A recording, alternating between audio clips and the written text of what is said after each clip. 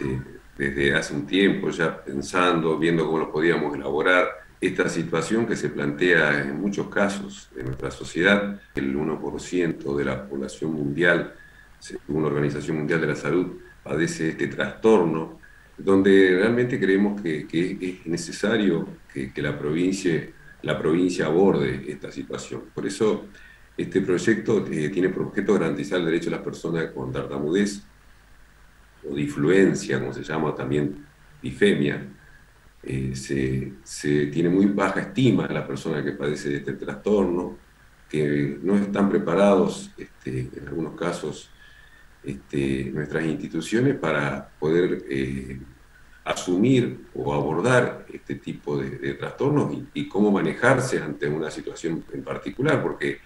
Claro, por eso este programa lo que propone es un abordaje eh, integral del trastorno, pero además una detección temprana.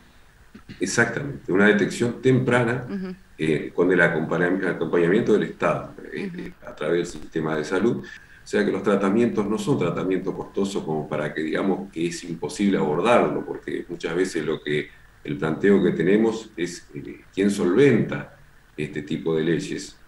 Este, o si las prepagas están en condiciones de poder asumirlo. ¿Cuáles son las funciones específicas que propone al menos este proyecto de ley? Bueno, la contención, el acompañamiento, la capacitación con estrategias para optimizar la, detención temprana, promoviendo la creación de consultorios especializados en hospitales públicos, asistiendo a los establecimientos y capacitar al personal interviniente, concientizándose y sensibilizándose a, sensibilizando a la población sobre la tartamudez o disfluencia.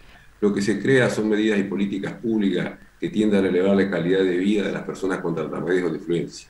Bien, eh, este proyecto ya se encuentra en comisiones, ya fue eh, abordado y trabajado en comisiones. ¿Cuál es la situación actual dentro de la Cámara? El proyecto ingresa hoy. El ah, proyecto ingresa hoy.